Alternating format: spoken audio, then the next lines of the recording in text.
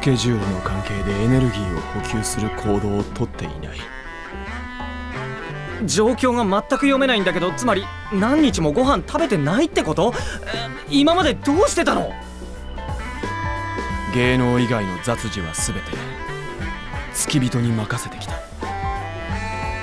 その付き人ってのはどうしたの？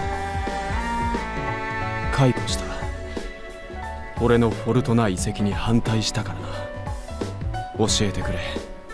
青井樹お前たちは普段どうやって飢餓状態から脱しているのだ？飢餓状態っていうのは大げさだけど小腹が空いたらカフェかな？あとはカフェだな。なるほど。了解した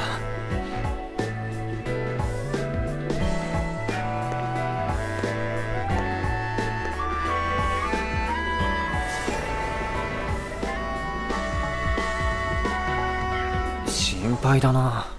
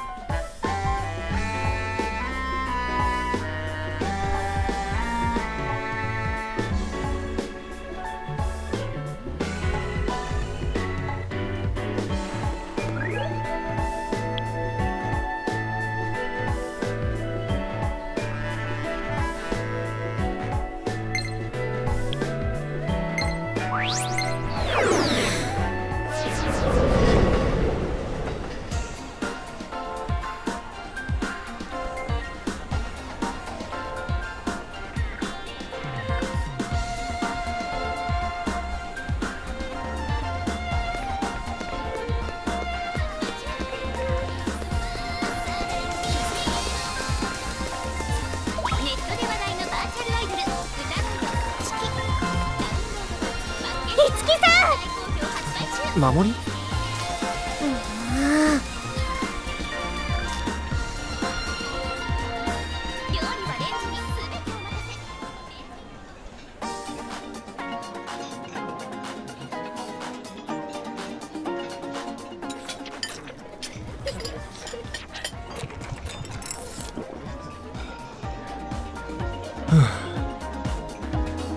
どう？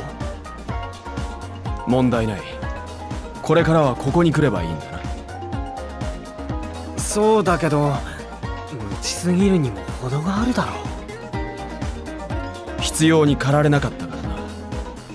俺はこれまで自らの芸を磨くことだけを考えて生きてきた。八代さん。それに誰にも教えられなかったからな。え？死んだのだ5年前に八代まあ父がいたとしても状況は変わらなかっただろうがな。芸のみを磨け。それが父からの教えだ。八代のお父さんらしいというか。故にそれ以外のことは不要だ。不要じゃありません。何？たとえレンジでチンでも料理番組に携わる者として見過ごせません。この状況。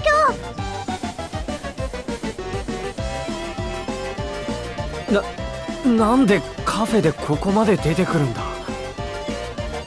なんだ？これ八代さん表現者にとっても食事は大切なことです。料理番組旅番組ドラマの役で必要になるかもしれない。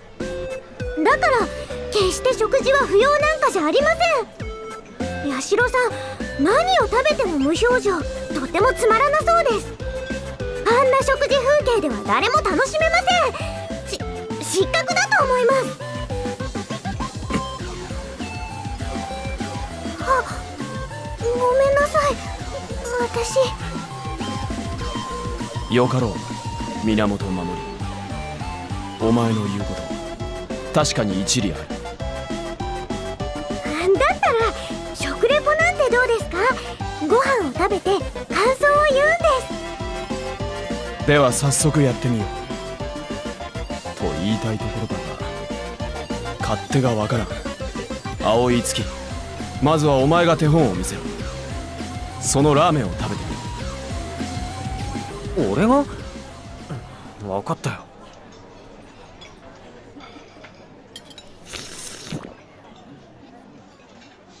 どうだ？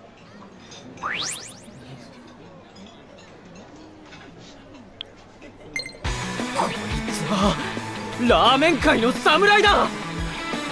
キレのある魚介だしはまるで名工の手によって研ぎ澄まされた一振りの刃！中太の縮れ目程よく芯があるその食感はまさに武士道を体現したかのよう！これは強敵だぞ！って感じでどうかな？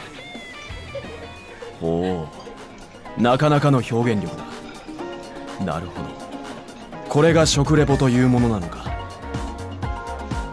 では次はこのショートケーキだ。私も聞きたいです。分かったよ。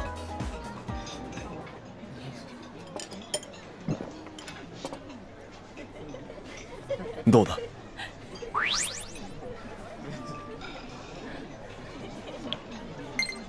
なんて可愛いんだ。フリルの純白ドレスを身にまといいちご色に頬を染めたこの子はまるで真相の霊嬢一口含むごとに訪れる圧倒的かつ上品な香り高貴なる甘さそして全身を包む甘美な多幸感。ケーキ界のプリンセスはここにいたんだ。どうかな？ヤシロうん。ヤシロさん？大体分かったぞ。食レポの極意。それは見る者の舌にその味を伝える圧倒的な描写力。そして見る者の心に訴えかける怒涛の表現力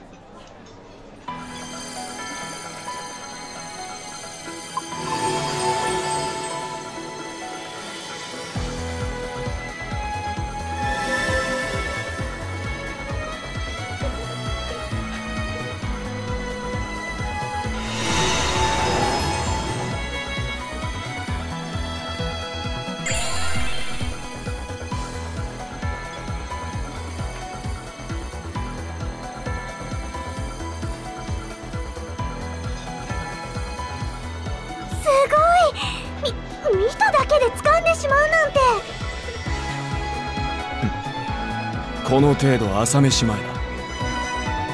今食べたの昼飯だけどね。今俺のパフォーマンスに新たな境地が開けた。この感覚を我が物とするため早速さまざまな料理に向かってみようと。ではな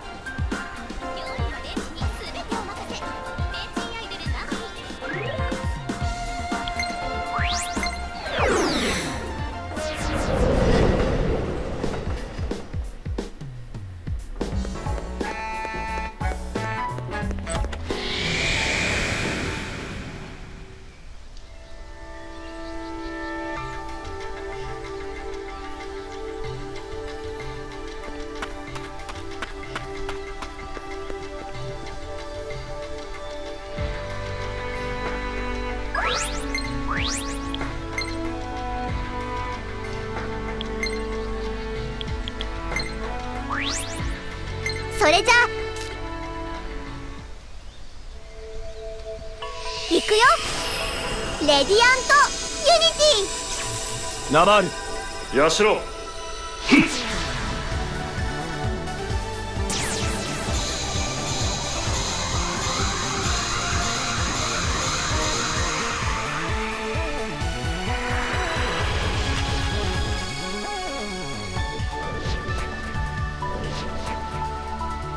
まだまだ通過点。だ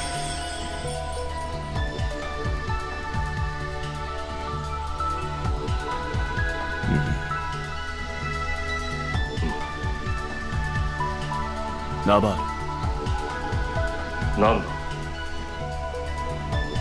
俺が飢えていた時貴様はどうして黙っていた？俺が何かを言ったとしても状況が好転する見込みはなかった。だから黙っていた。そうか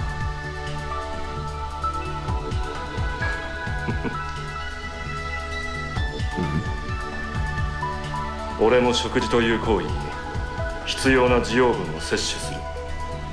という以上の意味を見出したことはなかった。だがこのような向き合い方もあるのだな。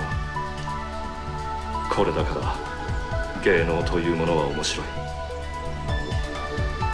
ああ。まだまだ学ぶことがあるようだな。俺にもお前にも。そのようだな。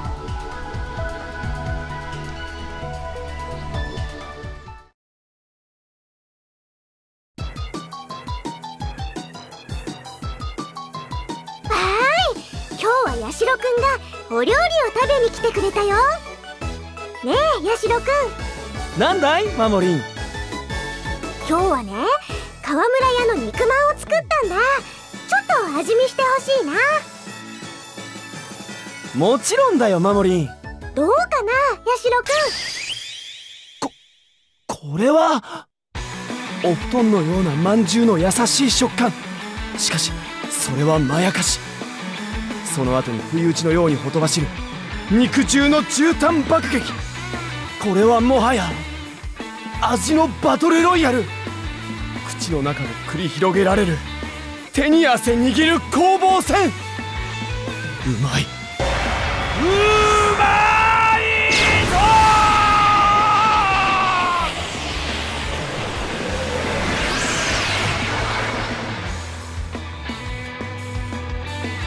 すごいやマモリンやっぱりレンチンは魔法だね。僕の心の温めもスイッチオンだ。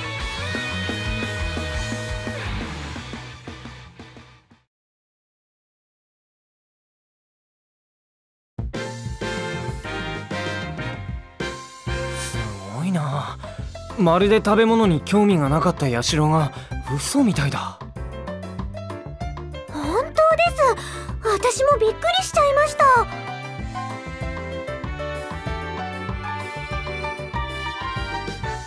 お前の手本を参考にさせてもらった。ヤシロの方がずっと良かったよ。当然だろう。なぜなら俺は一流だからだ。あの後古今東西のありとあらゆる料理をひたすら食べ続けた。おかげで2 0キロほど体重が増加したが。そんなに？だが2 0キロ太ったのなら2 0キロ痩せればいい。簡単な話だ。それが一流の芸能人。そうだ。青い月それが一流の芸能人と。